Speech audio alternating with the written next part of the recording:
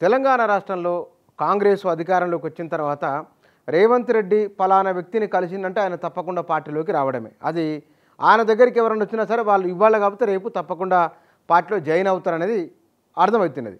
మనకు పట్నం మహేందర్ రెడ్డి నుంచి మొదలుకుంటే కనుక ఆ తర్వాత అంతకుముందు జరిగిన పరిణామాలు మొత్తం రేవంత్ రెడ్డిని కలిసిన వాళ్ళంతా పార్టీలోకి వస్తున్నవారే ఇప్పుడు తాజాగా ఎంపీ పస్నూరి దయాకర్ రావడం తర్వాత దానం నాగేందరు ఇట్లా ఒక్కొక్కరుగా వస్తూ ఉన్నారు.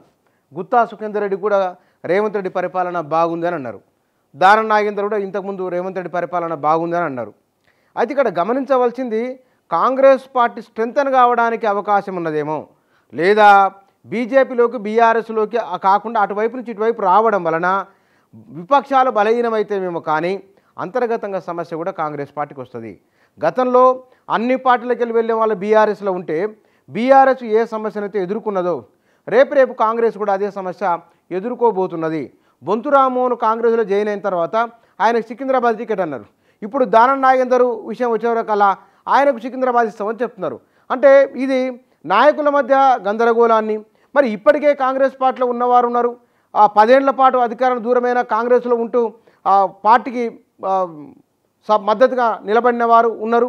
అట్లాంటి వారికి అవకాశాలు ఇవ్వకుండగా ఇప్పుడు ప్రభుత్వం మనగడకి ఇబ్బంది లేకుండా ఉండాలని లేకపోతే కనుక రాబోయే రోజులలో పార్టీ మరింత బలపడాలంటే చేరికలను ప్రోత్సహించాలని క్షేత్రస్థాయిలో ఉన్న వారిని విస్మరిస్తే కనుక బీఆర్ఎస్ ఏ సమస్య ఎదుర్కొన్నదో కాంగ్రెస్ కూడా అదే సమస్య ఎదుర్కోబోతున్నది. అయితే ఇక్కడ రేవంత్ రెడ్డి కొన్ని విషయాల్లో జాగ్రత్తలు తీసుకున్నారు.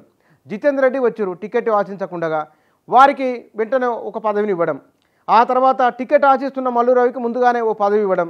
ఇంకా నాగరికం తేలలేదు అది. ఇక్కడ దయాకర్ వస్తున్నాడు. దయాకర్ మరి వరంగల్ ఇస్తారా? వరంగల్ ఇప్పటికే ఒక సేమ్ సామాజిక వర్గానికి సంబంధించిన వారు అక్కడ టికెట్ ఆశిస్తున్నారు. మరి వీరికి ఏం చేస్తారు? నేతకాని వెంకటేష్ వచ్చిన పెద్దపల్లి నుంచి మరి ఆయనకు సిట్టింగ్ ఎంపీ ఆయన కూడా దయాకర్ సిట్టింగ్ ఎంపీలే. వీళ్ళకి టికెట్లు ఇస్తారా? లేకపోతే కనుక ఏం చేయబోతున్నారు?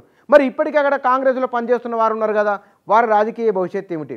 ఇత్యాది ప్రశ్నలు ఈ చేరికల చుట్టూ ఉన్నాయి.